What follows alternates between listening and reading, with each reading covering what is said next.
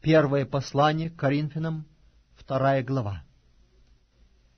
«И когда я приходил к вам, братья, приходил возвещать вам свидетельство Божие не в превосходстве слова или мудрости, ибо я рассудил быть у вас не знающим ничего, кроме Иисуса Христа, и притом распятого. И был я у вас в немощи, и в страхе, и в великом трепете, и слово мое и проповедь моя не в убедительных словах человеческой мудрости, но в явлении духа и силы, чтобы вера ваша утверждалась не на мудрости человеческой, но на силе Божией.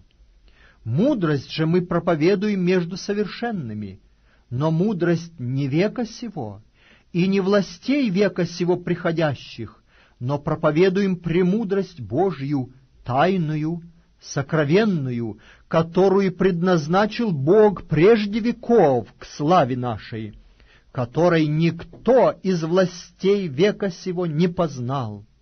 Ибо если бы познали, то не распяли бы Господа славы.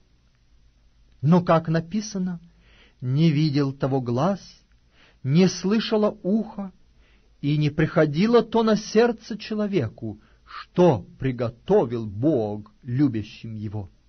А нам Бог открыл это Духом Своим, ибо Дух все проницает, и глубины Божьи. Ибо кто из человеков знает, что в человеке, кроме Духа человеческого, живущего в нем? Так и Божьего никто не знает, кроме Духа Божия.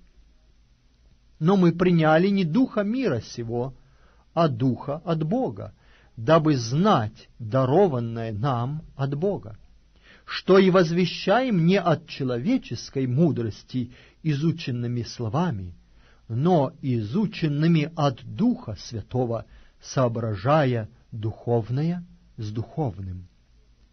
Душевный человек не принимает того, что от Духа Божия, потому что он почитает это безумием и не может разуметь, потому что об этом надобно судить духовно.